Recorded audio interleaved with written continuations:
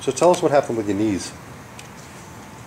I fell off Fred's KY Jelly Bus. And what happened with the two thousand dollar microphone you had in your pocket a couple days ago? They happened wanted it? me to change, so I ripped my dress off that I had that day and went to go put the other one on from the day before for another take, Oh and it God. dropped in the toilet. I know. In the what? In the toilet, In the but there wasn't anything in there. But water, right? But toilet water, All right. yes. So It it's ruined. awesome. Needless to But say, it Put your hand was like afternoon, $2,000? so it wasn't dirty.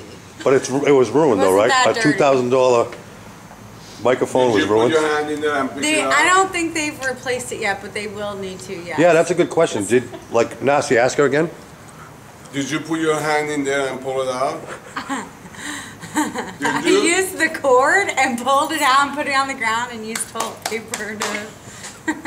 Did you smell your hand after the Did you smell your hand? No, I sponged it off. I used No, the you, how about you smell your hand? No, I washed my hands after. But after that, did you smell your hand? No, You sure? I'm sure. Mm. Look at Tiffany's microphone. it's perfect.